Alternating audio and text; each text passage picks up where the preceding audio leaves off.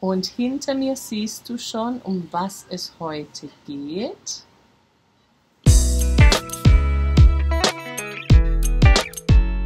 Es geht um das Thema Körper, aber nicht um meinen Körper, der Kopf, der Fuß, die Nase. Nein, es geht um das Thema Körper in Mathematik oder geometrische Körper. Und du siehst schon ein paar Körper hinter mir. Und diese Körper schauen wir uns nochmal genau an.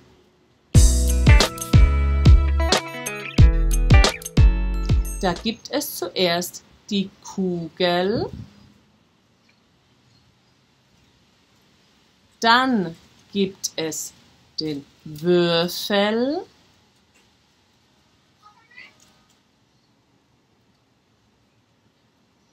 Der nächste Körper nennt man Quader. Und zum Schluss noch den Zylinder.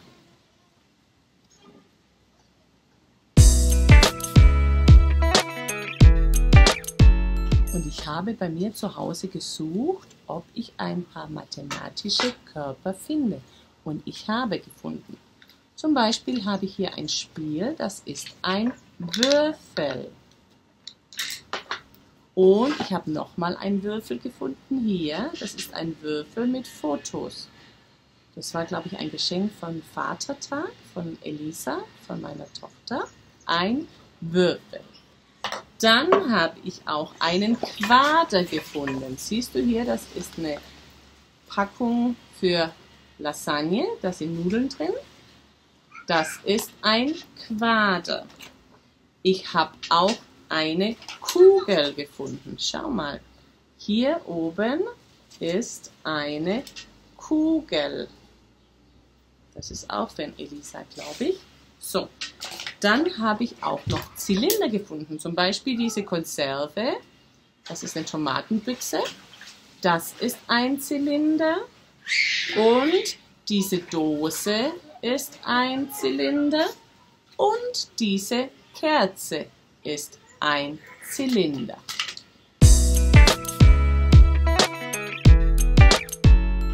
Aufgabe 1. Nimm vier kleine Papiere und schreibe auf das erste Papier Kugel, auf das zweite Papier Würfel, auf das dritte Papier Quader und das auf das vierte Papier Zylinder.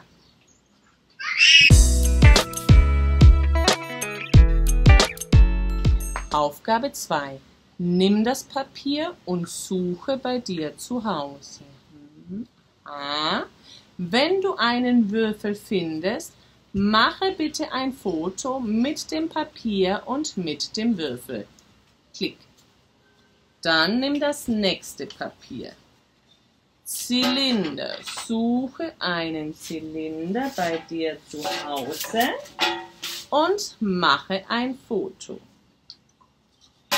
Suche eine Kugel und mache ein Foto und suche einen Quader und mache ein Foto.